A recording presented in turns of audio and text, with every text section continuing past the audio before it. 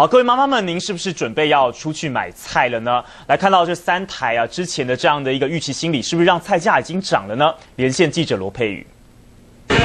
好，主播各位观众，大家早。虽然台风已经逐渐影响了南部地区，连带让菜价呢可能是有点上涨。不过呢，其实今天来到市场走一遭，发现呢，其实涨价比较多的还是属于这个菜叶类，像是这个地瓜叶呢，还有这个青江菜这些菜叶类呢，都是从二十块涨到二十三到二十五元之间呢。不过呢，其实除了昨天有一点小涨价之外呢，今天来到市场呢，其实呢，很多菜价都已经已经没有在涨价，已经回到原本的价钱。我们来看看一下老板怎么说。老板早安，今天这个菜价怎么样？涨得比较多的是哪一种种类？呃，最主要昨天产地有稍微有下雨哦，那个粤菜类哈稍微有涨个一两成哈，其他的花果类的话，比起前一个交易日都有稍微回跌一些。啊，最主要那个大宗蔬菜像高丽菜的话，比昨天还回跌。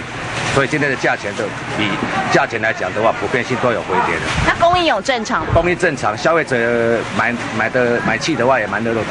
谢谢。